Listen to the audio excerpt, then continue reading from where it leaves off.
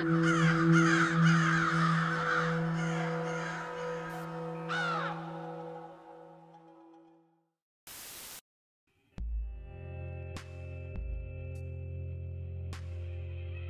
I was, I was born in Port Lincoln. Um, my dad's from Port Lincoln, he's a Nunga. My mum's from Western Australia, Kalgoorlie. She's a Gubrin, and um, they split up when they were two.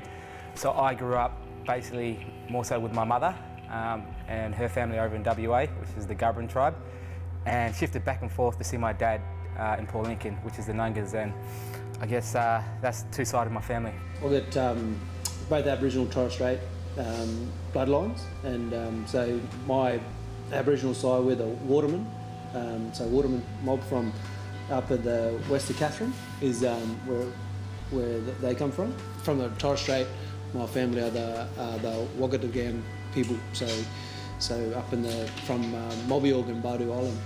Yeah, well, my role models, this guy sitting right here. I grew up, I was because I was born in Port Lincoln. I grew up bragging for uh, Adelaide Crows, and number 23 was my favourite number. I still got a little article at home where I was 15 or 13, I think it was, and they said, uh, "Who's your favourite player and who you for?" And it says uh, Adelaide Crows, Andrew McLeod.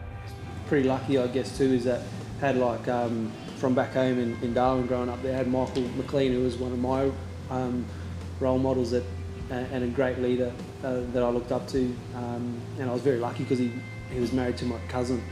Um, he was a bit older, but I just used to be able to pick his brain as a kid. You sort of understand what great role models are about. It's nice that you know someone like Eddie can say that about um, myself. I guess that you know you, you are seen to be his role model. I'm sure there's some younger blokes, and you have to look as far as probably Cam and Charlie, and you know, they'd saying the same thing about Eddie now.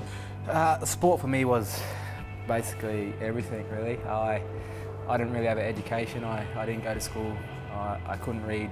I couldn't write, and then I was lucky enough to get drafted up for Carlton in the pre-season draft. Um, and uh, you know, the first three years of, of my AFL career, I did literacy and numeracy classes because I couldn't read. I couldn't write. I didn't know what I was signing. Um, and in saying that, if I had my time again, and that's what I tell young kids when I go out to our communities and, and do the role model course, um, the mentoring course, sorry, uh, tell them my story and saying, listen, education is more important than, than sport at this time. And I guess saying that, I think sport really saved my life.